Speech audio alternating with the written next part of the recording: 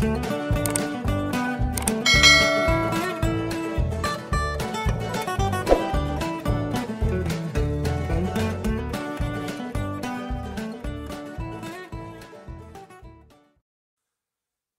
hallo Freunde, willkommen zu einer neuen Folge von Kühnes Kochkanal aus dem verschneiten Gifhorn, wie ihr im Hintergrund sehen könnt.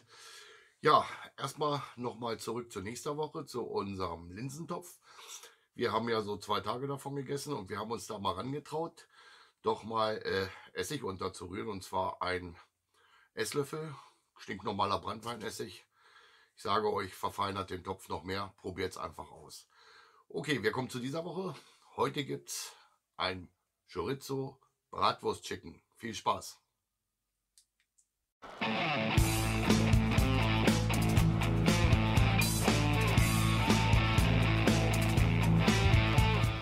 Ja, Freunde, für unser Chicken Chorizo Bratwurst Style brauchen wir folgende Zutaten. Natürlich ein küchenfertiges Hähnchen, frische Bratwurst, Zitronensaft, Dann brauchen wir Chorizo natürlich, Champignons, Knoblauchzehen, Zwiebel, Tomaten. Wir haben jetzt normale Tomaten. Ihr könnt gerne auch diese Kirschtomaten oder Cocktailtomaten nehmen. Wir schneiden die eher auseinander. Ja, weiter geht's. Ein kleines Gläschen Rotwein. Ein sehr kleines diesmal. Ja, sollte aber hinreichen. Äh, Paprikapulver. Edelsüß bitte. Ja. Und Salz und Pfeffer. Ja, das waren unsere Zutaten. Ja, jetzt geht's los. Ja, Freunde, die meisten Schnippelarbeiten sind jetzt erledigt. Wir haben den Saft einer Zitrone ausgedrückt.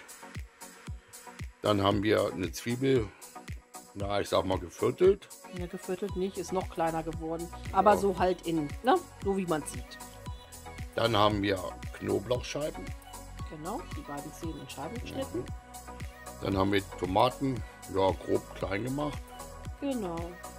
Und dann die Chorizo so in. Auch grob klein geschnitten. ja, sehr grob klein geschnitten. Und Herr Kühne hat Pilze geputzt. Ja, und die bleiben aber ganz. Die geben wir so mit zu. Werdet ihr aber nachher sehen. Ja, ich denke, wir machen uns jetzt an das Brett. Korrekt.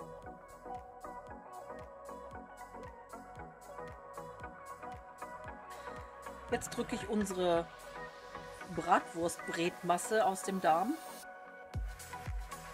Das ist ein Geschmadderer, aber funktioniert gut. Ich denke, in Zweifelsfall kann man auch mitnehmen. Ja, nur Bratwurstbret ist ein bisschen feiner.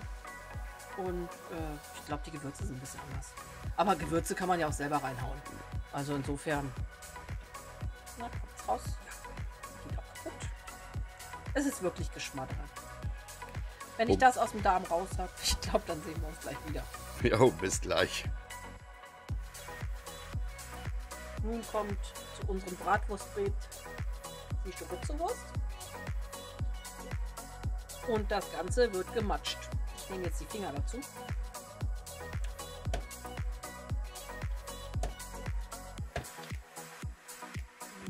Geht gar nicht so gut mit der Wurst. Vielleicht hätten wir doch eine ganze Chorizo nehmen sollen und in Würfel schneiden sollen. Die war leider nicht zur Hand, also... Also gab es die Wurstscheiben. Das wird schon hinhauen. Ich denke auch. Und wenn es auch nicht so weiter schlimm. So, untergemengt. So gut wie. Sieht doch gut aus. Und damit werden wir gleich unser Hähnchen füllen. Bis gleich. Nun füllen wir unser Hähnchen hier beim eigentlich beim Popo, ne? So. Unsere Bratwurstbretmasse kommt da rein. Ich glaube, wir haben sogar zu viel. Und vielleicht ein bisschen passt noch. Ein bisschen passt noch. Bei dem anderen machen wir notfalls einen Klops und legen ihn daneben. Genau, das reicht auch schon. Und dann würden wir das Ganze verschließen, mit Zahnstochern zustecken und dann sehen wir uns gleich wieder. So, unser Hähnchen haben wir nun gewürzt, das heißt zugesteckt, habt ihr ja gesehen. da. Ähm, gewürzt mit Edel, ähm, Paprika edelsüß, Pfeffer und Salz. Mein letztes Mettkügelchen hier kommt da rein. Drumherum streue ich die Knoblauchzehen. So. Die Zwiebeln folgen.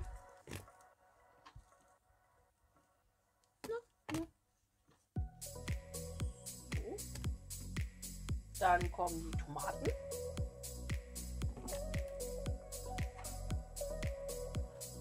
Das Hähnchen ist ganz schön dick hier im Pott. Dabei ist das schon der große Topf, der neue. Genau. Ihr nehmt übrigens äh, entweder einen Breter mit Deckel, ähm, eine Auflaufform mit Deckel oder eben sowas, wie wir hier haben. Ich gebe jetzt noch die Champignons dazu. Die haben wir im Übrigen ganz gelassen. Ich finde das schön, die schrumpeln nachher ein und alles ist gut. Hat man schönes Gemüse zu. Ich hoffe, dass sie gut einschrumpeln, aber ich denke, Champignons schrumpeln immer.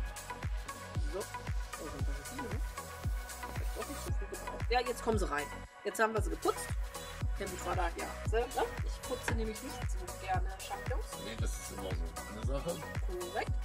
Ähm, der Zitronensaft folgt.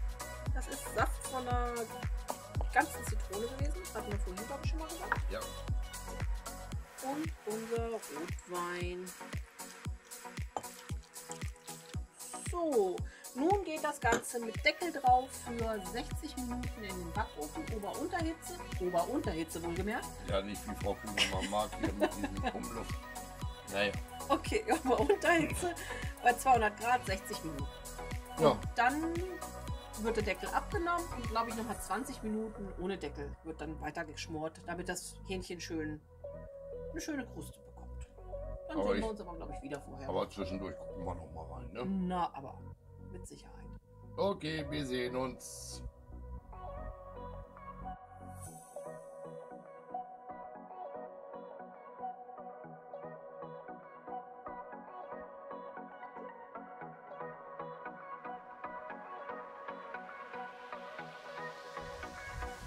So sieht unser Hähnchen nach 60 Minuten aus. Jetzt bleibt es ohne Deckel. Ich denke, nach 20 bis 30 Minuten sehen wir uns wieder. Und ja, mal schauen, wie es dann aussieht.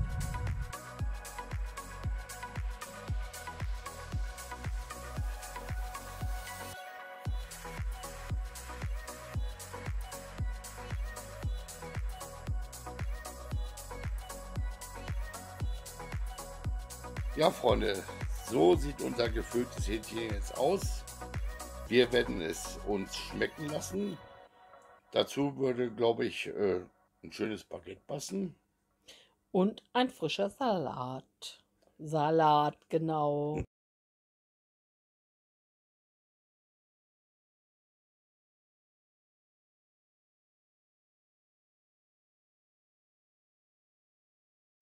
Ja, kurzes Fazit. Es lohnt sich auf jeden Fall, schon wegen der Füllung her. Allerdings werden wir morgen, denke ich mal, auch noch dran zu knabbern haben. Aber egal. Probiert es einfach aus. Wenn es euch gefallen hat, lasst einen Daumen nach oben da, einen netten Kommentar. Über ein Abo würden wir uns natürlich sehr freuen. Und wir würden uns noch mehr freuen, wenn ihr nächste Woche wieder dabei seid bei einer neuen Folge von Kühnes Kochkanal.